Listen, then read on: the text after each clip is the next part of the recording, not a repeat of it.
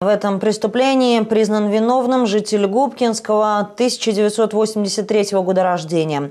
Следствием и судом установлено, что в сентябре прошлого года, находясь в квартире вместе с потерпевшей, будучи в состоянии алкогольного опьянения, обвиняемый напал на женщину, сильно избил и изнасиловал.